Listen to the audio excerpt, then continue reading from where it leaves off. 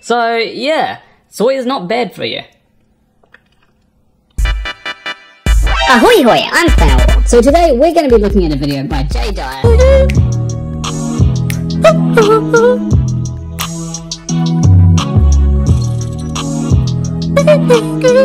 I don't know what that was. I'm not going to fault him for it because it was quite funny. You know, I never actually said in that video whether I consume soy or not.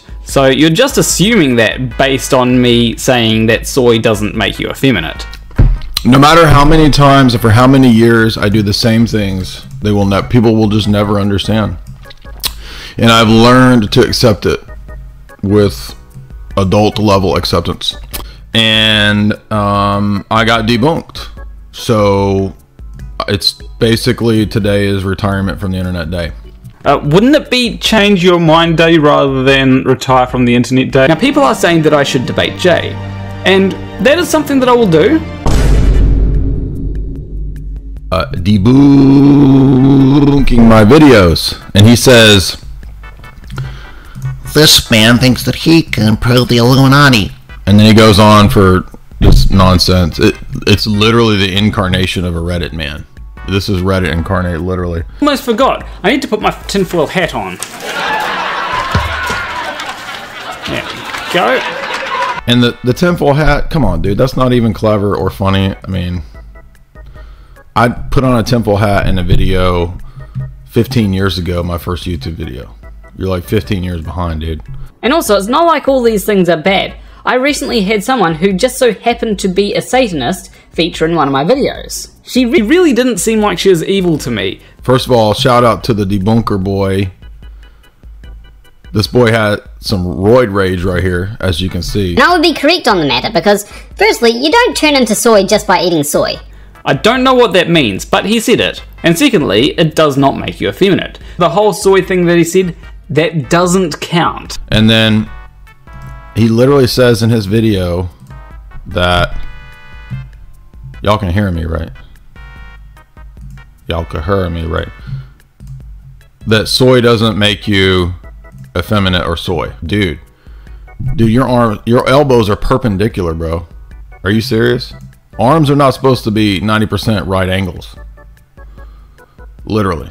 You over here doing you could go to drafting class and not you don't even need any equipment you could just like draw it with your arm bro so okay yeah you're right soy does not make a man a soy man okay Science, because science is pretty much just debunking things. right. look you don't so if you do want to be a debunker man like this boy then do not get chalk naively believe that everything in the world is just one damn thing after another. Epstein has no connection to anything. It was just it just happened. Still just a crazy conspiracy theorist. You need to be off your rockers to be a conspiracy theorist.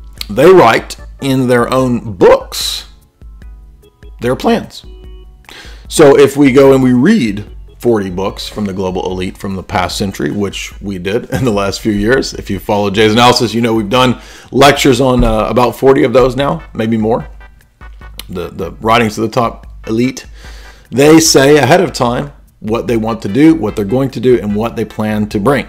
And they trust that people are not going to investigate or read their books because they're written for the policymaking class. They're not written for Joe Schmo. Still just a crazy conspiracy theorist. You need to be off your rockers to be a conspiracy theorist. inverted pyramid or this evil pyramid is a, a, a spiritual being, right?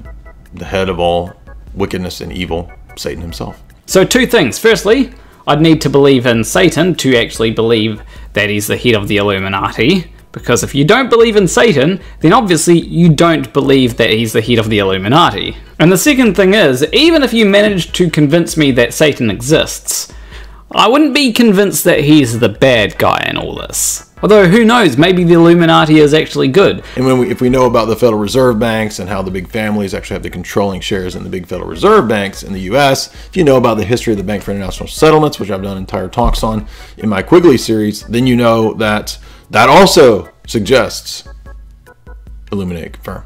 It's a given. Pop culture just comes from whatever people like. Still just a crazy conspiracy theorist. You need to be off your rockers to be a conspiracy theorist. Here's the policies that should be implemented. We should implement them. I mean, this is something that has been done for ages.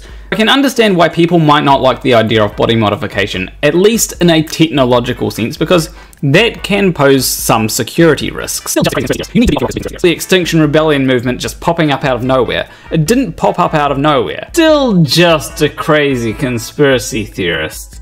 You need to be off your rockers to be a conspiracy theorist.